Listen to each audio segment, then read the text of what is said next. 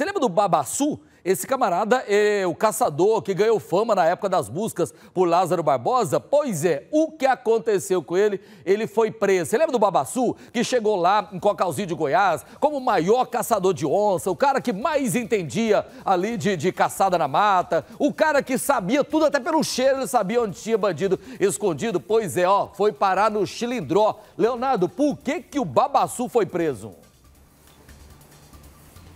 Estupro, Loares, simplesmente por um. É, ele é suspeito de praticar um estupro contra uma adolescente de 16 anos. Esse caso aconteceu, de acordo com a polícia, de 24 para 25 desse mês. E como que foi esse, esse, esse ato aí? Há cerca de 30 dias, ele tinha conhecido, então, de acordo com a polícia, a adolescente de 16 anos. Durante esse tempo, ele tentou, então, manter um relacionamento com ela e isso era negado. A adolescente não queria, de acordo com o relato dela, a polícia, ela não queria nenhum tipo de relacionamento. Mas na noite de, do dia 24, Lores, eles estavam em um torneio de sinuca em São Miguel do Araguaia e a vítima pediu carona para voltar para casa. É claro, né, Babassu deu essa carona, só que ele mudou o caminho do carro, né, mudou o caminho da casa com o carro dele e eles foram para um lugar é, longe da cidade e ele teria obrigado e ameaçado a jovem de tomar o celular dela e ainda deixar ela a pé ou seja, ali ficar cerca de 20 quilômetros de distância de casa.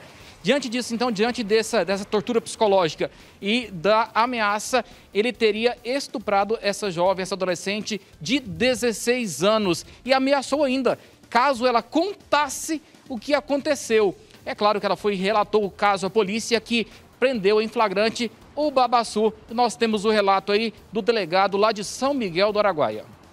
Na madrugada do dia 25, segunda-feira, um homem que se tornou muito conhecido na região por ter participado pelas buscas do assassino Lázaro praticou supostamente um crime de estupro contra uma adolescente. Conforme elementos de provas até o momento colhido, esse homem e a vítima se conheciam há cerca de 30 dias. Na noite do dia anterior, durante o torneio de sinuca realizado em uma casa de eventos na cidade de São Miguel, a vítima, que estava acompanhada do suposto ator, pediu-lhe uma carona até a casa dela.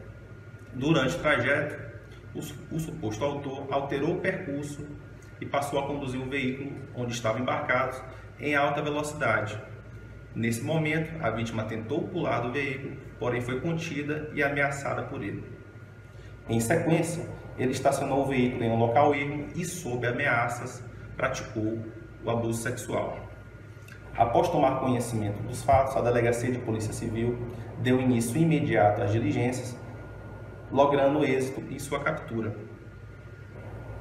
Importante salientar que o suposto autor tentava aliciar a vítima com presentes e quantias em dinheiro, mesmo ela tendo deixado, deixado bem claro que não queria ter qualquer tipo de envolvimento amoroso com ele. Ademais, enquanto estava sob custódia na delegacia, o suspeito tentou empregar fuga, porém foi detido por um servidor. Instante em que o detido proferiu ameaças contra o referido servidor. De modo que, na sequência, ele também foi autuado pelo crime de ameaça. As investigações seguem em sigilo. O suspeito está recolhido na unidade prisional local, estando à disposição do Poder Judiciário. Pois é, Loares, o Babassu, então, além de ter, ser suspeito desse estupro, ameaçou então os policiais e também foi indiciado por ameaça aos servidores públicos e está é, agora à disposição do Poder Judiciário.